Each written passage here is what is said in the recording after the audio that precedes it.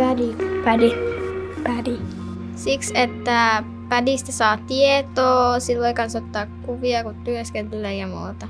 No siis me ei saada käyttää liitutaulua, koska se on opettajan käytössä.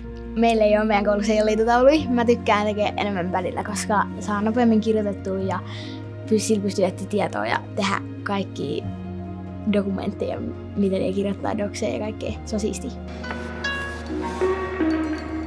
Käsin kirjoittaen. Käsin kirjoittaen. Mä tykkään enemmän ehkä tehdä käsin, koska sit mun kirjoitustaito tulee paremmaksi. Sen mulla muistaakin paremmin ja ne asiat, mitä kirjoittaa ja sitten myös, että ei käsin kirjoittamisen taito niin unohdu. Sitten kirjoitustaito kehittyy nopeammin. Läppärillä, mutta me ei vielä rap- läppäreillä kirjoiteta, kun me kirjoitetaan koneilla, tietokoneilla.